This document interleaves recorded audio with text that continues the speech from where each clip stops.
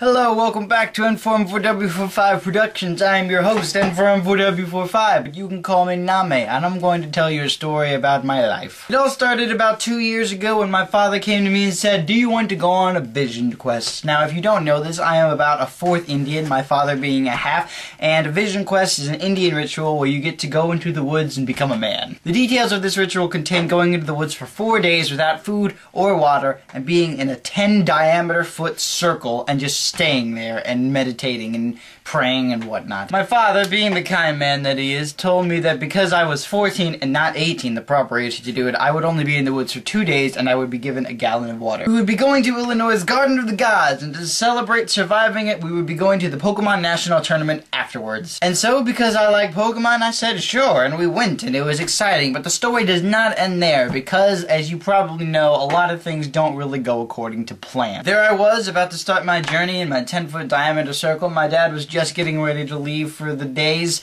and then I heard a coyote. So I said to him, what do I do if a coyote shows up? Should I climb up a tree, hide in the tent? That doesn't really sound like a good idea. And my father said, don't worry, here is a whistle do the SOS thing if you need me. Slightly contented with the whistle, I was then given a little bottle of bug spray, and then it was just me and the tent and the four bottles of water for the next two days. And to be honest with you, nothing really exciting happened for the rest of the day. I was just there, I prayed a lot, but I just sat there. Eventually, at one point, I went into the tent, and then I woke up like an hour later, and then the sun was still up, so I had to wait longer and wait, and it was quiet and it was good. I'm not saying that I wasn't um, having a, a, good experience, but it was a little bit boring and the time went by slowly. The next day I woke up to the sun in my face and I guess that it was about 8 o'clock or so. I guess I timed it wrong or really miscalculated because it seemed that the day was taking forever. It was only later to discover that I probably woke up around 6 o'clock.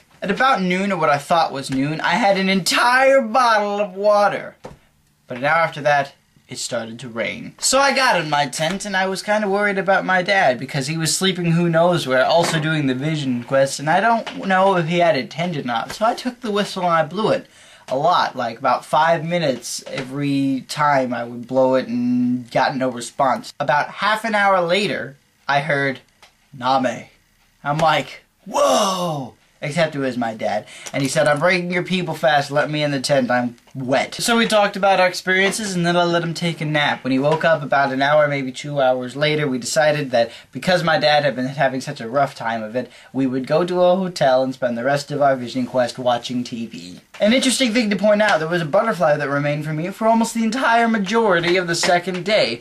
It just showed up in my circle. It stood on a rock for the entire time, and when it started to rain, it went under my tent. Not my tent, my tent tarp that covered the rain.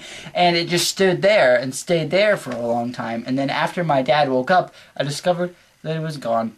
I then decided that that butterfly was my Patronus. My name is N4M4W45. I hope you enjoyed this interesting story that happened to me two years ago. Peace in Christ and imagine on.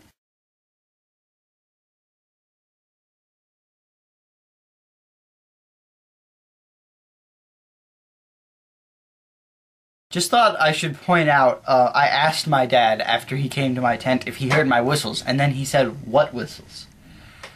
So if a coyote had actually come to attack me, the whistle probably wouldn't have helped at all.